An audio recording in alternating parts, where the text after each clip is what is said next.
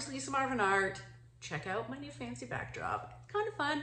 So today I'm really excited because we're gonna talk about peacock cells. What is a peacock cell? Well, a few years ago when I started blooming, um, I was using whatever paints I had on hand. I was a portrait artist, so just had random paints, mostly like Liquitex, and I never really paid attention to opacities. And when I was blooming, I just kind of was, always throwing these crazy color combinations together. And what I not no, noticed is that um, I started getting these like cool looking cells sometimes where um, it would be like different multicolored layers inside a cell and I didn't understand what that was or why that was happening. then I realized it was because the way I was layering my opaque paints with my semi paints. Now, it is a myth that you can't use opaque paints in your blooms. It is also a myth that they should be on the first uh, layer. Now, I will say for beginners, peacock cells can be a little tricky. So I have a few tips to show you what to do, what not to do, and how to get the most out of your opaque paints. Because like opaque paints, you just have to like, chill with them, just like a little bit. They're, they're not, you can't like throw them out to the center of the show. They've got to be like, like a extra in your show, if you know what I mean. But once you use them correctly, you can really get great results and so let's get to blooming. Products are so important for the bloom because as I said before, every layer needs to be at a perfect consistency for it to work. Now, I've narrowed it down to a very few simple products that I use in Canada. Now, there are a few different ones in the States that I don't get here that I will be testing, but you can also get these in the States, and I know that these work for sure for me for the types of blooms that I want to create.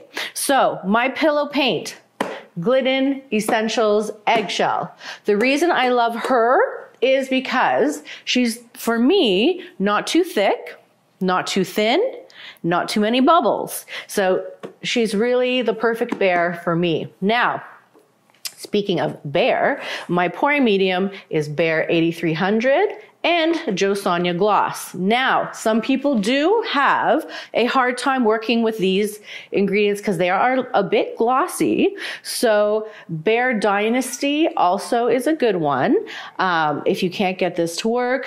But I will be doing um, a consistency video to show you exactly the perfect way to mix your pouring medium. And finally, the magic sauce, what you need is your Australian Floetrol. When we started the bloom, um, it was really hard to get our hands on Australian Floetrol.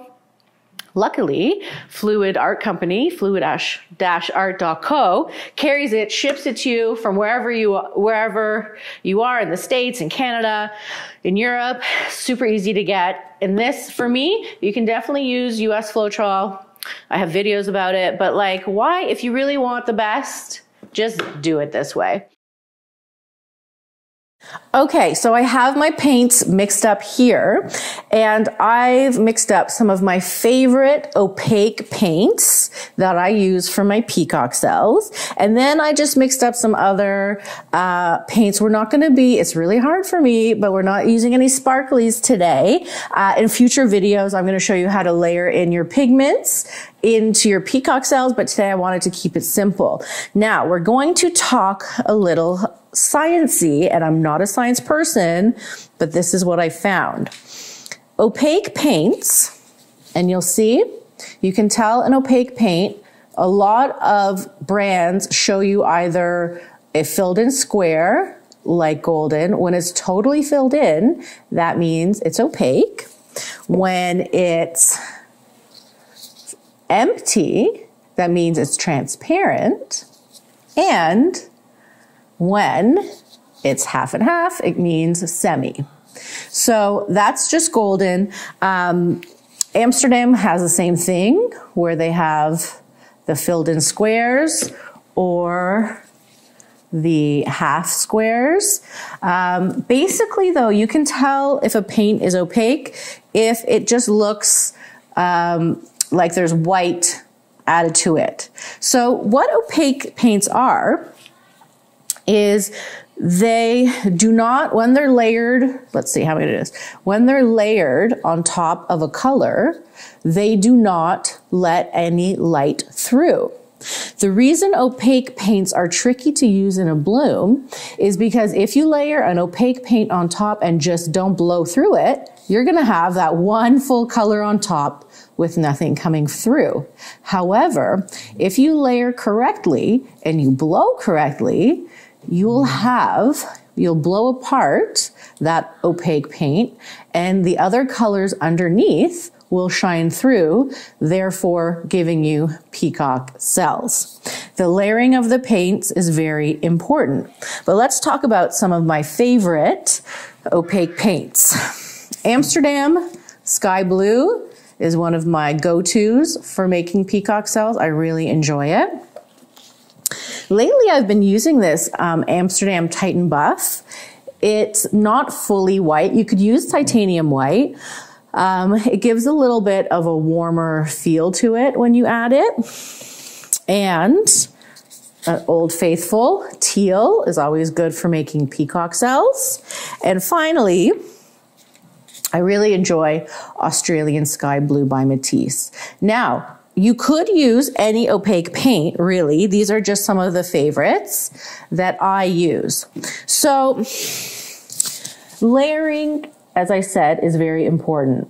What we're going to do today is, I'll do a few different layerings, but normally when I use my peacock cells, I either end up layering two colors and an opaque, and then another two colors and an opaque. I usually use two opaques. Now remember I said layering an opaque on top is very, um, difficult and it's something you have to be very careful with. If you layer your opaque in the first three, um, and then transparents or semis after, you have less chance of making a mistake because uh, you have paints on top that you could kind of blow through. So we're going to do many different ways today.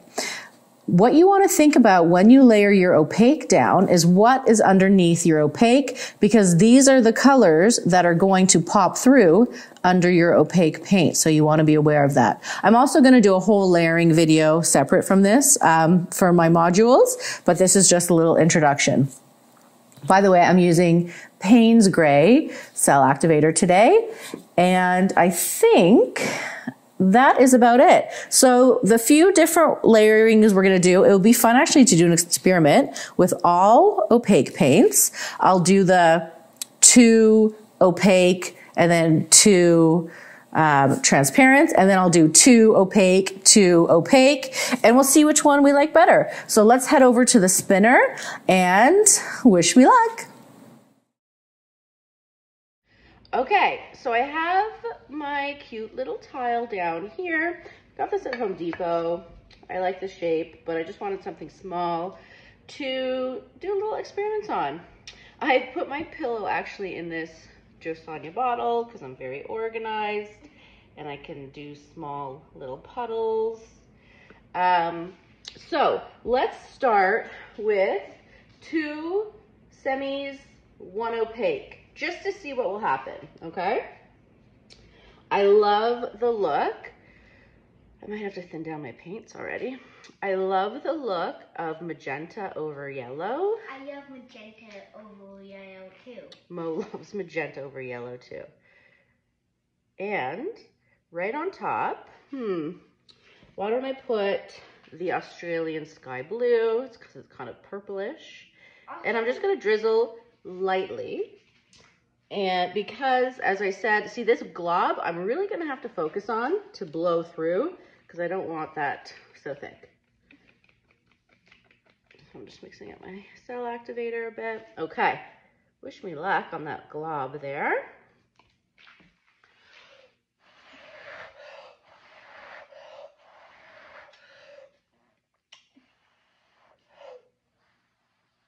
You can see right here, really cute peacock cells. Of course, I blew too hard over here. That's okay. But this is exactly just one what a one layered peacock cell looks like. you can see the color has broken through and pops out like that. Whereas something like this, which is very pretty, oh, there's something on here, um, are the two colors mixed together. So you can see the difference. Also, also, if you didn't know, this is this is a peacock cell video. Peacock cell video. Thank you, Mo. So actually, this is kind of like a good comparison because that bloop actually kind of helped me show this, although it's not pretty. It helps show the difference between an opaque on top and no opaque on top. I'm going to spit it out. Like, I don't love this. I liked that it was a great um, Influence. in- Influence. influence uh-huh, of the peacock cell. Um, but it's kind of ugly. So the next one we're going to do is the same. We're going to go um, transparent, transparent, opaque, and then transparent on top of that to see what an opaque looks like in the middle of some paints. Oh, okay. Oh, hold on. Well, let me just move this. So whatever, like, you know, I would definitely redo this if I was giving this to someone, but I liked that um, that that happened. And I am so neat today. Look what I'm doing. I'm wiping down, making it clean. She actually always does that. She, she actually always does that. Well, I don't really. I'm kind of messy, but that's okay. Okay, ready? So you know what? I'm gonna do the same thing, except Um, um, Yeah. Yes, you may. the the person who who figures out where I'm sitting Mm-hmm. gets a free painting. You're offering free paintings if they figure out where you're sitting, I mean, where I, mean, not where I'm sitting. Yeah. Where where I'm standing. where you're standing. Kind of make a mix-up because Oh, you know. mm-hmm. sitting- So you're offering for free paintings? I'm offering free paintings. Oh, Just man. Go in the comments Uh huh. and, and where I'm sitting, or where I'm sitting, or what I'm sitting on. Ooh. Okay, so I did that again. Now, um, with having a paint on top, it might be easier to blow it out and I won't notice it as much. Hopefully we'll see. I think when, because normally I use little popsicle sticks, and I think when laying your opaques, probably using something little that you can control is better. However, on top of that, um, hmm, why don't I do this? Actually, so normally when I have a dark cell activator, like my Payne's Gray, I would use a light color, but I didn't mix any light-ish colors. So I'm gonna drizzle Izzle my Diox Purple because it likes to take over. And I'm gonna drizzle this Amsterdam Greenish Blue, okay? So let's see what it looks like when I'm layering an opaque in the middle, all right?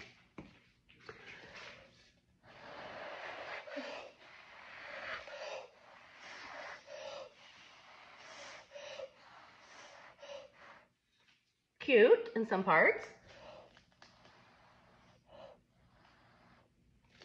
That blue didn't really do me any favors here, but you can see even the blue is peacocking a bit um, because it is dark. Because it is peacock cell. It is peacock cells.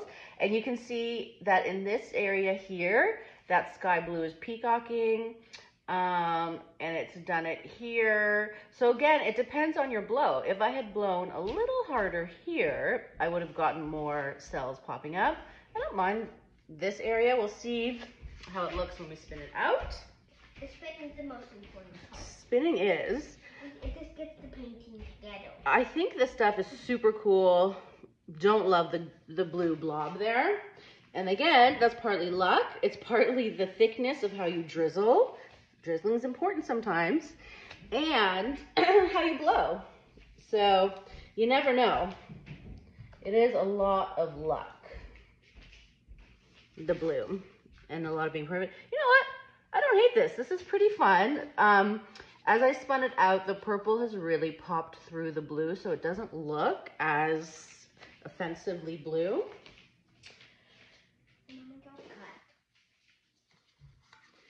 So let me just see how we look here. Now, you know what? I think she's kind of cute. Um, look at all of the cute little peacocks happening everywhere. I love these bright colors. Now let's try one exactly the same, but this time I'm going to put another opaque right on top. Don't forget to be clean. I'm gonna put another opaque right on top. And um, see what happens. And this time I'm actually gonna use a popsicle stick for my opaques. So here we go. Diarylide yellow.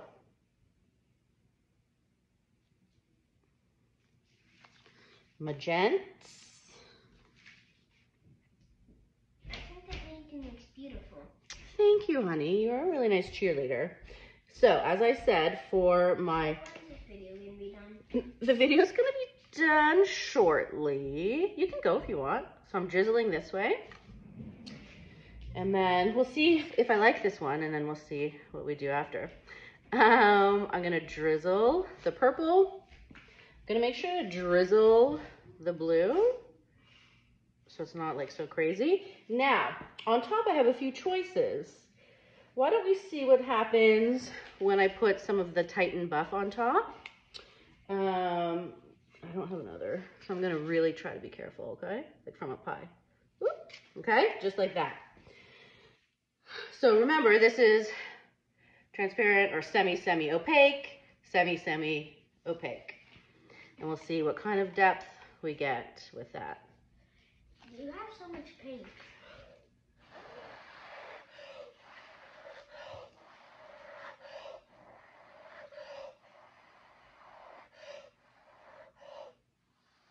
I do have a lot of paint.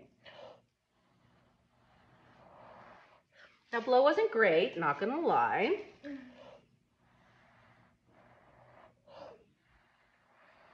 But you can see the levels of peacocks. So we have the sky blue that was under here. Look at that, really cute, actually. And a bit of that Titan buff over here. Again, if my blow was better, I probably could have gotten in there a bit more. But really, really cute details. Um, if you can see, really cute. All right, let's spin it out. You know what, Mo? I think this is the last one. I think this is my happy ending. Because normally I don't quit until I get happy with something. But Uh, these are really cute. When, it, when it's a pickle painting, Yeah. you only have one chance. You're right. And there's a lot of wasted paint, isn't it?